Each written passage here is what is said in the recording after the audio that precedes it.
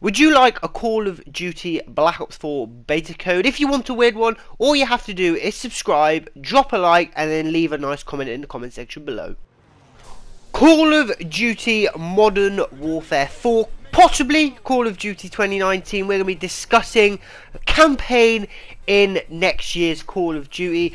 We're just going to call it Call of Duty Modern Warfare 4 2019 for now, just just for argument's sake and just for easier purposes. We've got some new information regarding it, and you might be thinking, fuck in hell.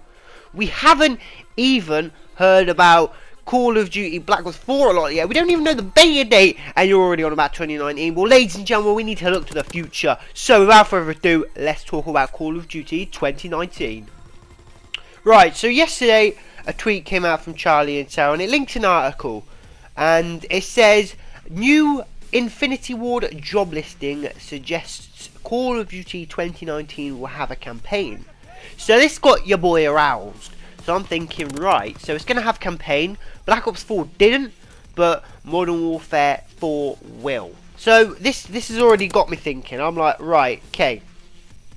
So the the job description is this, ladies and gentlemen. Just, I mean, none of you are going to apply for it, or if you are, you're a very smart human being. I'm proud of you. Keep coming to my channel. I'll give you some advice for Call of Duty to make it better. Anyway, it says. In this hands-on role, you'll collaborate with scripters, sound designers, writers and directors to implement voiceover performances in-game across a wide variety of player experiences, from combat to set pieces.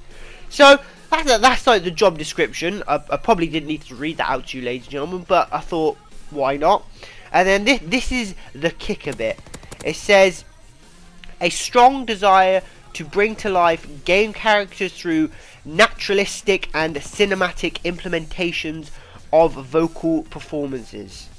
So what do, what does that mean? There there are a bunch of long words there, ladies and gentlemen. So what it means is bringing a fictional character to life, giving it meaning, giving it purpose.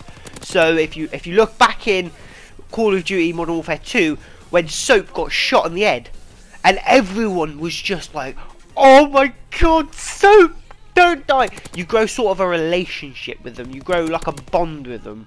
So at the end of GTA 5, I was so fucking sad.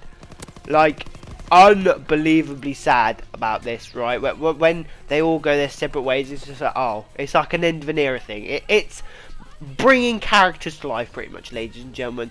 And that's what the job description says. But why would you want to bring, say, a multiplayer player to life? Because all they're going to do is just shout, player here, player there, enemy UAV, and all that good stuff. So they wouldn't do that much detail for a Call of Duty multiplayer person so like someone in multiplayer online for for example me for example they wouldn't be shouting that like the other players wouldn't want to get you know bring my character to life. That's just stupid isn't it? I'll have to go around talking to everyone in game even part of my character.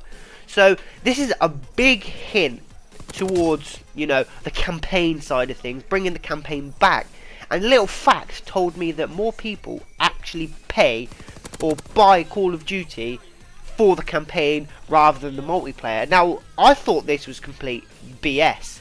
I honestly, I, I was so shocked when I heard about this because obviously me being a multiplayer person that I am, I, I'm just, I'm instantly assuming that most people buy for the multiplayer because that's that's what I thought Call of Duty was about. Obviously, the campaign's been in there for a while, but I didn't actually think that, you know, people went out their way and more people went out their way to buy the campaign specifically over the multiplayer. I mean, that boggled my brain. But I wanna, I wanna get your guys' thoughts. Uh, bring your thoughts into my comment section below in a second, later. What I want to know is, are you happy that they're bringing Call of Duty, like the campaign, back, or would you prefer them to, you know, leave it out? You're not really bothered about the campaign. And let me know, are you bothered about the campaign not being in for Call of Duty Black Ops 4? I think it's an interesting turn of events not bringing the campaign back because as you as you guys know the facts that I've just given you more people pay for the campaign so now that the campaign's not in Black Ops 4 anymore are people going to take a step back and not purchase Call of Duty Black Ops 4 specifically because it doesn't have campaign? It's an interesting thing to discuss in the, the comment section below, ladies and gentlemen. So if you've got any thoughts, just let me know. But I want to thank you all right now because I did not expect yesterday's video to do as well as it did. Honestly, ladies and gentlemen, I thought that yesterday's video would, you know, it would get, you know, 15, 20 views, you know, sort an average. But instead, that got like, I think it was 40, it's currently 47 views, which is insane. So I just want to thank you all quickly for that. And I've also approved a ton of comments as well. So anyone that left comments and you thought I've ignored you, I haven't. I love you all. I've just had to approve them all because YouTube put them into a separate section. But anyway, guys, I hope you're all having a great day. If you did enjoy, please hit that like button, subscribe if you're new, and give me some comments in the feedback in the comment section below. But this is Lukey, and I'm signing out. Peace.